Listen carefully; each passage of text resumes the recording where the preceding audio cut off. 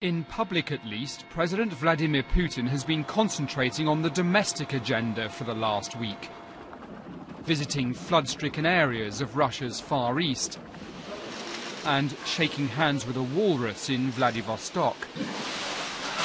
But his closest advisers have made it clear that he's been enjoying President Obama's discomfort over Syria.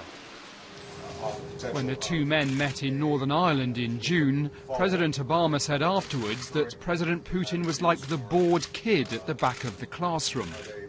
And when it comes to such misunderstandings or such a reluctance to hear, this is a signal of uh, something is not right about the relation. Something is very seriously not right. A thousand miles from Moscow in the mineral rich Ural Mountains, there's a very different brand of US Russian relations. Here, the American aircraft manufacturer Boeing has opened a new state-of-the-art plant for building vital sections of the 787 Dreamliner. It's a joint operation with a Russian titanium producer. At the height of the Cold War, it would have been unthinkable for Russia and America to cooperate so closely on something as sensitive as aerospace manufacturing.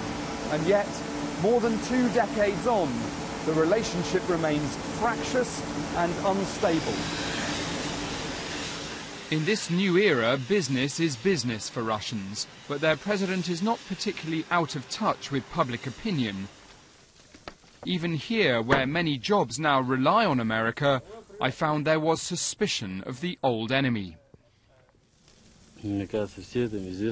Everyone knows what they are doing in Iraq and Iran, interfering everywhere all the time.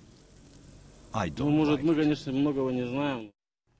When Russia gave political asylum to the US whistleblower Edward Snowden in July, President Obama cancelled his planned trip to Moscow and his famous attempt to reset relations with Vladimir Putin was over. Putin uh, started his presidency as one of the most pro-Western leaders uh, Russia ever had. His experience was terribly disappointing to him.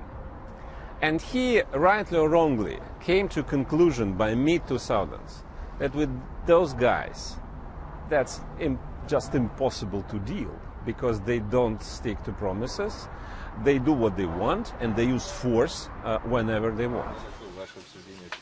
Even four years ago, when the two leaders met in Moscow, it was an uncomfortable morning. Then came Libya, Syria, and political trouble for President Putin at home, which he blamed on America. US Russian relations are stuck in a trough and will stay there for the next few years. Daniel Sandford, BBC News, Moscow.